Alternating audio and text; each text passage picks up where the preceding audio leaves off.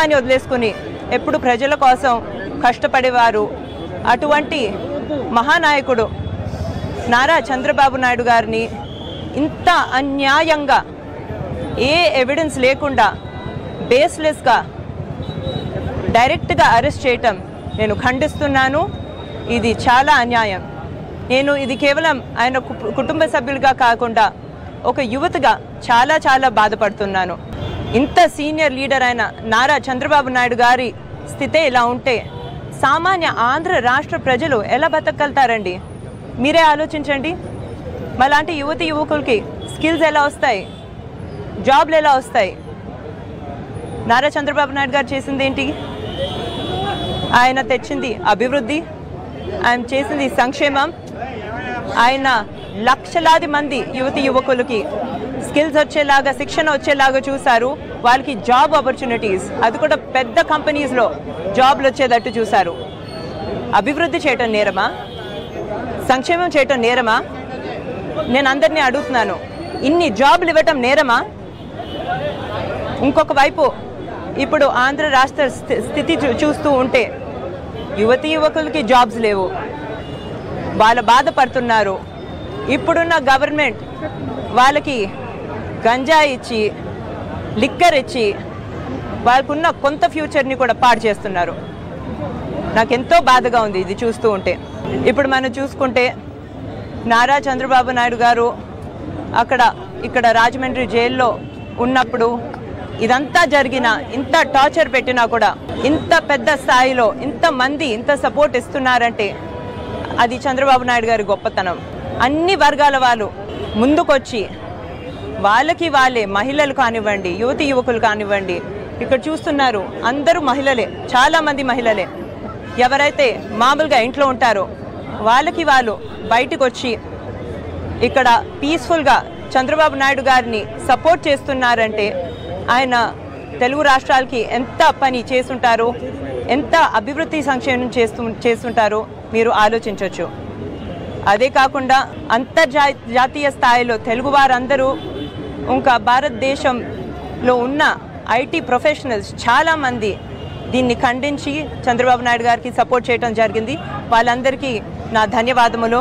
అదొక వైపు అంటే ఇంకొక వైపు నేషనల్ లీడర్స్ కానివ్వండి రీజనల్ పార్టీ లీడర్స్ కానివ్వండి అందరూ ఇక్కడ జరిగే విధానాలు చూసి ఆంధ్ర రాష్ట్రంలో జరిగే విధానాలు చూసి వాళ్ళు బాధపడి వాటిని ఖండించి గవర్నమెంట్ని ఖండించి ఇక్కడ గవర్నమెంట్ బాడీస్ని ఖండించి నారా చంద్రబాబు నాయుడు గారికి వాళ్ళ హార్ట్ ఫెల్ట్ సపోర్ట్ ఇవ్వటం జరిగింది.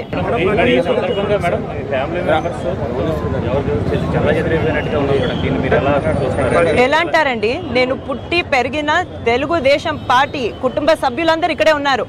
ఇక్కడే కాకుండా ఆంధ్ర రాష్ట్ర వ్యాప్తంగా అంతర్జాతీయ స్థాయిలో వాళ్ళందరూ ఈ రోజు ఎప్పుడులాగా మమ్మల్ని సపోర్ట్ చేస్తున్నారు. మేము అంటారు వాళ్ళం ఎక్కడండి? మా కుటుంబ సభ్యులు కూడా ఇక్కడ ఉన్నారు. అందరూ ఉన్నారు. నేషనల్ లీడర్స్ ఎప్పుడైతే ఎంత విభేదాలు ఉన్నా కూడా ముందుకొచ్చి నారా చంద్రబాబు నాయుడు గారిని సపోర్ట్ చేయడం జరిగింది. మేము ఇందులో అందరి సపోర్ట్తో తప్పకుండా బయటకు వస్తాం త్వరలో బయటకు వస్తాము. Justice will they will be ఇప్పుడు చంద్రబాబు గారు జైల్లో ఉన్నారు లోకేష్ గారు ఢిల్లీ వెళ్ళారు మీరేమో రాజమండ్రిలో ఉన్నారు మీ బాబు ఒంటరిగా హైదరాబాద్లో ఉన్నారు. ఈ మీ కుటుంబం ఇంత స్థాయి కుటుంబం ఇలా ఈ ఈ స్థితిలో ఉంటుందని మీరు ఇప్పుడు ఎలా ఫీల్ అవుతుంది? మేము ఊహించుకోలేదండి. ఇలా ఉంటుందని. మా అత్తగారు ఎవరైతే ఇప్పుడు దాకా బయటికి రాలేదో పాలిటిక్స్లో ఎప్పుడు ఇన్వాల్వ్ అవ్వలేదో ఎప్పుడు చాలా డిగ్నిఫైడ్గా ఉండేవారు ఆవిడ మొత్తం మొట్టమొదటిసారి బయటకు వస్తున్నారు. ఇక్కడ రాజమండ్రిలో ఆ రోజు నుంచి ఇప్పుడు దాకా రాజమండ్రిలోనే ఉన్నారు. నేను విజయవాడ రాజమండ్రి మధ్యలో తిరుగుతున్నాను. అటు లోకేష్ గారు ఢిల్లీలో ఉన్నారు. దేవాంశ్ మీరు చెప్పినట్టు ఒంటరి అయిపోయాడు. స్కూల్కి వెళ్తున్నాడు. ఇదేం జస్టిస్ అండి? దేనికోసం? అభివృద్ధి చే చేయటం వలన సంక్షేమం చేయటం వలన అసలు నా నా లాంటి యువతి యువ నేను బెనిఫిషరీ నా లాంటి యువతి యువకులకి జాబ్స్ ఇవ్వటం వలన ఆనాడు నారా చంద్రబాబు నాయుడు గారు ప్రొఫెషనల్ కాలేజెస్లో మహిళలకి engineering or professional reservations introduce చేశారు కాబట్టి నాకు కూడా మెరిట్ సీట్ వచ్చింది అప్పుడు. నా లాంటి వాళ్ళు ఎంతో మంది ఉన్నారు. వాళ్ళ వాళ్ళందరూ సపోర్ట్ చేస్తారు. తప్పకుండా ఇబ్బందిగా ఉందండి. కానీ వీఆర్ స్ట్రాంగ్ ఫ్యామిలీ ఇలాంటివి ఎన్నో చూసాము. కానీ ఇలాంటి సపోర్ట్ ఒక్క లీడర్ కోసం అంతర్జాతీయ స్థాయిలో నేను ఎన్నాడు చూడలేదు. మేము తప్పకుండా విక్టోరియస్గా బయటకు వస్తాం. మేడం వేలాది మందికి ఈరోజు స్కిల్ డెవలప్మెంట్ ఉద్యోగాలు లక్షలాది రూపాయలు సంపాదిస్తున్నారు. ఇప్పటికే ప్రవాసాలను కూడా చెప్తున్నారు. ఈ నేపథ్యంలో చంద్రబాబుని ఇది ఏ విధంగా ఎందుకు ప్రేరేపించారు పొలిటికల్ వెండేటా అండి. అందులో ఏమనుందా ఎలక్షన్స్ ఎన్ని నెలల్లో జరు జరిగిపోతున్నాయి ఆరు నెలలో జరిగిపోతున్నాయి చంద్రబాబు నాయుడు గారి ర్యాలీస్ బస్ టూర్స్ చాలా సక్సెస్ఫుల్గా జరుగుతున్నాయి. ఎన్న ఎన్ని వేలాది మందులు మంది వస్తున్నారు మీరు కూడా చూస్తారు టీవీ మీద. అదే కాకుండా లోకేష్ గారి యువగలం పాదయాత్రకి ఎంతోమంది యూత్ వస్తున్నారు. ఇది చూసి తడపడి కరెంట్ గవర్నమెంట్ ఎలాగో ఒకలాగా బేస్లెస్గా ఎవిడెన్స్ లేకుండా మా ఎనిమిది ఎనిమిది సంవత్సరాలు దేవాంశ రిమో రిమాండ్ రిమాండ్ రిపోర్ట్ చదివినా ఇందులో ఎవిడెన్స్ ఎక్కడుంది అని చెప్తాడు. ఆ కాన్ఫిడెన్స్ నాకు ఉంది బేస్లెస్గా ఎవిడెన్స్ లేకుండా వీళ్ళు అనవసరంగా ఇది చేశారు. చేయొచ్చండి. ఈరోజు చేయొచ్చు రేపో మాపో చేయొచ్చు. But we are fighters we have a very strong family of TDP cadre TDP leaders మేము తప్పకుండా పోరాడతాం. న్యాయ వ్య- వ్యవస్థ మీద వ్యవస్థ మీద కూడా నాకు కాన్ఫిడెన్స్ ఉందండి. తప్పకుండా వచ్చే వారంలోనే నారా చంద్రబాబు నాయుడు గారు నిర్దోషిగా స్ట్రాంగ్గా బయటకు వస్తారనే కాన్ఫిడెన్స్ ఉంది నాకు.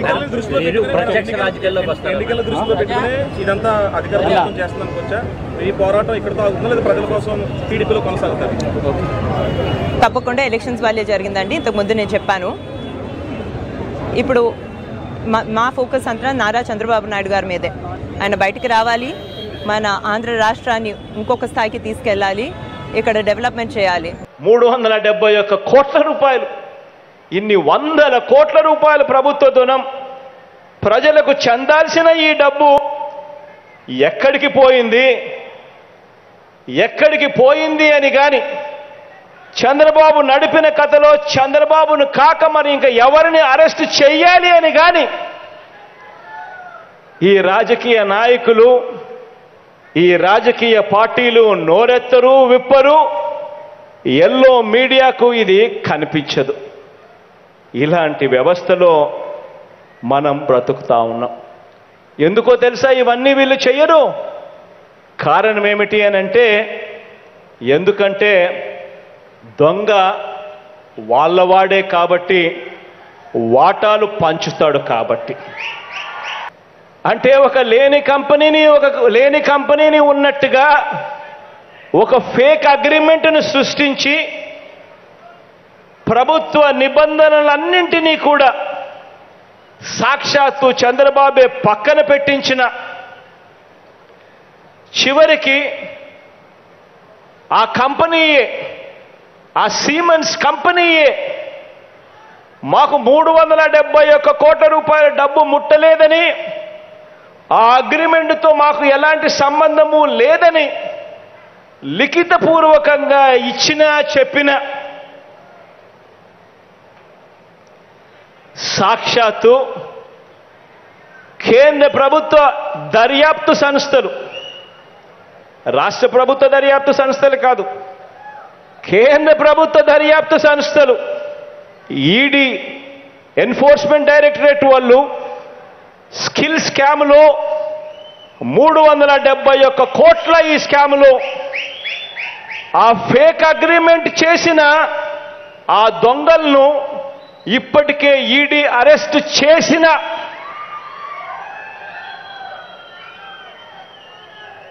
ఆ స్కిల్ స్కామ్ సూత్రధారి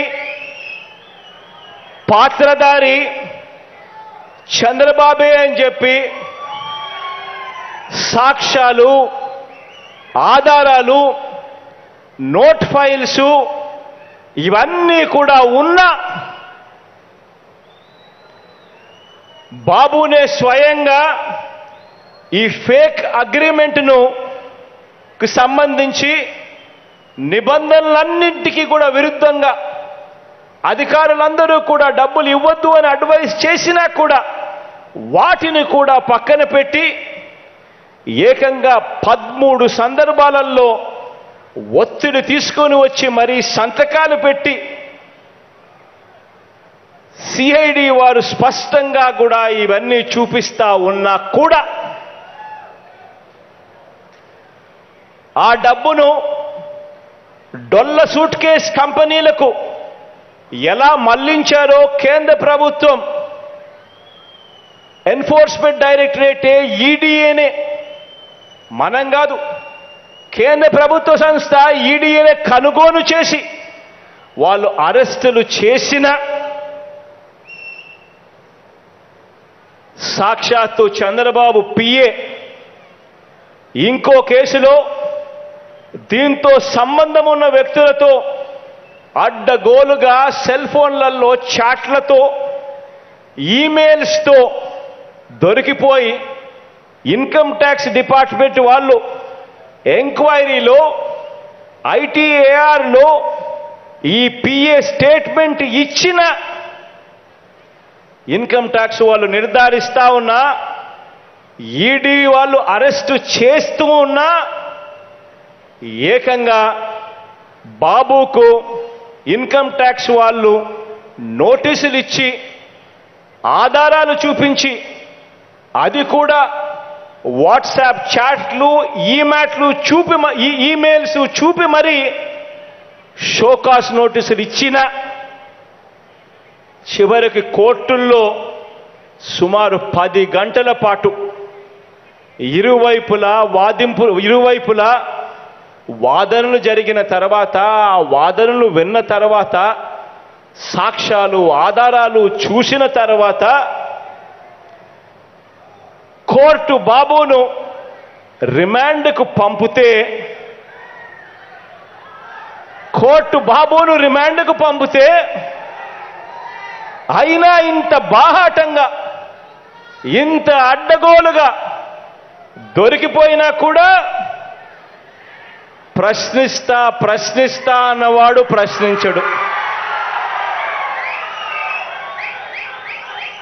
ఈనాడు ఆంధ్రజ్యోతి టీవీ ఫైవ్ ఈ ఎల్లో మీడియా వాళ్ళంతా కూడా నిజాన్ని చూపించరు నిజాలను వినిపించరు నిజాల మీద నోరెత్తి మాట్లాడరు పైగా నిస్సిగ్గుగా సపోర్ట్ చేస్తారు.